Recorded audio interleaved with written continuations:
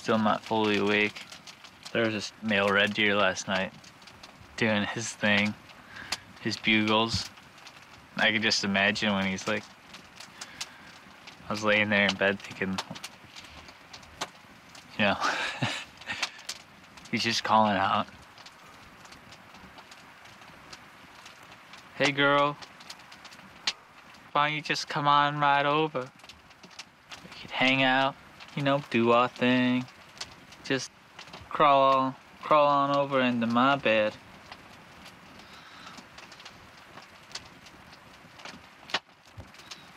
It's kind of what I imagine he was saying. Specifically in that voice, too. see what's the plan for today. Might try to just fish all day. Definitely starting to feel the lack of energy due to calorie deficiencies.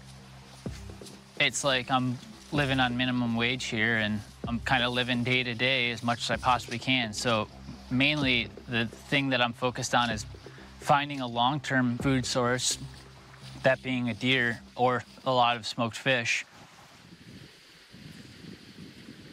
My survival strategy isn't necessarily about energy conservation. Fish on. It's about finding ways to live out here. Ah.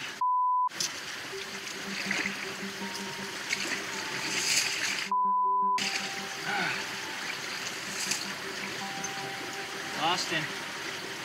Got my boots wet. There's a correlation between how I'm feeling mentally and emotionally and the amount of food that I'm getting. Not having food is making things a little bit more difficult on me. Another little guy on.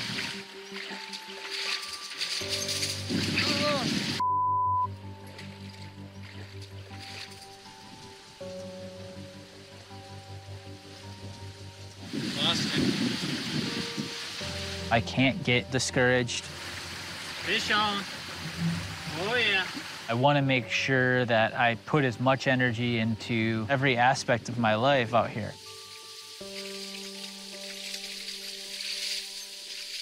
I feel like I can be successful if I'm really persistent. Nice.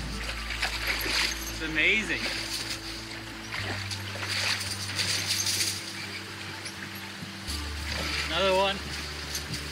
Haven't been to a spot in a while, they just, uh, they forget. I'm not sure what it is. It's just a nice little boost at a time when you need it. Every little bit counts. I've been out here a long time, and I still can't believe that I'm actually out here and I'm doing it. I'm successful.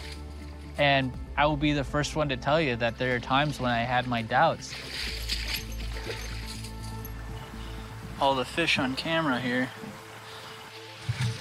All right, well, I'm calling it at nine. Nine's a good number.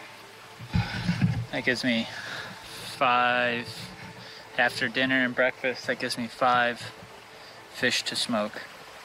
10 halves, which is pretty good. It's damn good.